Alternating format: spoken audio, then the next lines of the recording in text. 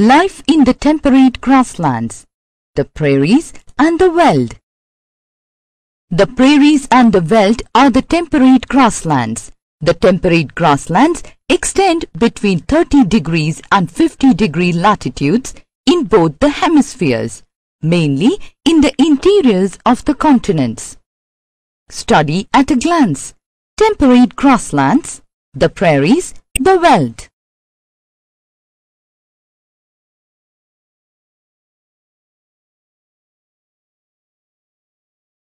Temperate grasslands.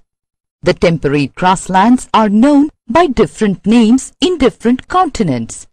They include the steppes on eastern Europe and southern Asia, the prairies of North America, the pampas of Argentina, the downs of Australia, the veld of South Africa. The temperate region is the region which lies in the interior of the continents and receives low rainfall. The prairies. The temperate grasslands of North America are called prairies. For the most part, prairies are treeless, but near the low-lying plains, flanking river valleys, woodlands can be found. They extend from Rocky Mountains in the west to the Great Lakes and Appalachian Highlands in the east. The prairies cover an area of Manitoba, Alberta, Saskatchewan, Ontario provinces of Canada and North Dakota, South Dakota, Minnesota, Iowa and Wisconsin states of USA. The grasslands of prairies were the home of American Indians, more popularly known as Blackfoot Indians. Geographical advantages of the prairies. The rolling plains are well drained and suitable for large-scale mechanized farming. Chinook is a hot wind that blows in winter and therefore raises the temperature in a short time. This increase in temperature results in the melting of snow, making pasture land available for grazing of animals. The melting of snow helps in providing moisture to the soil. The dark soil is full of humus and organic matter. Climatic conditions of prairies.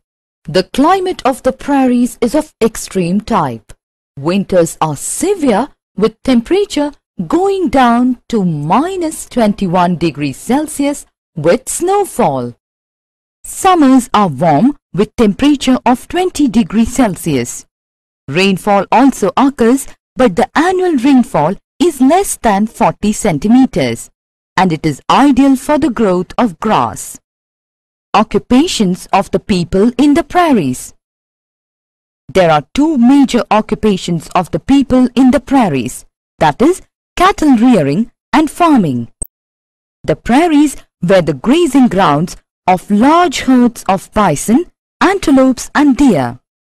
The cattle are allowed to graze freely in the open plains under the supervision of the cowboys. The cowboys are well-built, strong and hard-working men who remain on the horseback for the whole day. Cattle live in large cattle farms called ranches. Agriculture in the prairies. Wheat farming is the main agricultural activity on the prairie lands. Prairies are known as the granaries of the world due to huge surplus of wheat production. Prairies are also called the wheat basket of the world because prairies are famous for the cultivation of wheat. All farming operations are highly mechanized as labor is very expensive in the prairies. Wheat is harvested with combine harvesters and threshers. Farmers practice mixed farming and also crop rotation is practiced. Main food crop in the prairies is wheat, barley, oats, maize, flax and potatoes are the other crops grown. Features of towns in prairies Major towns of the prairies are connected with big railway junctions. These towns serve as the centers for collecting and storing agricultural produce.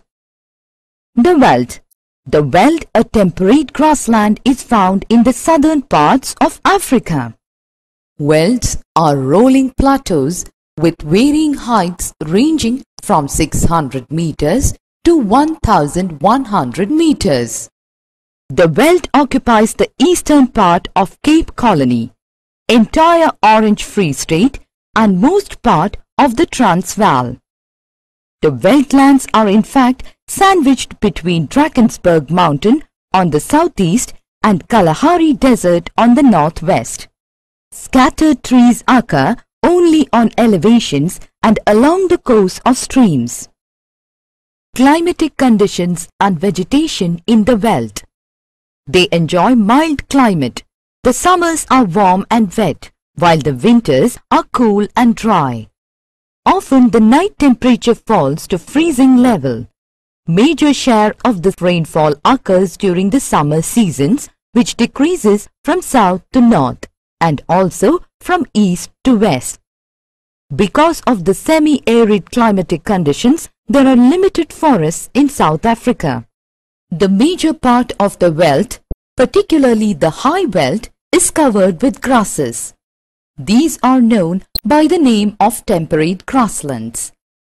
This is an area of broad, level stretch of both tall and short grasses and bushes.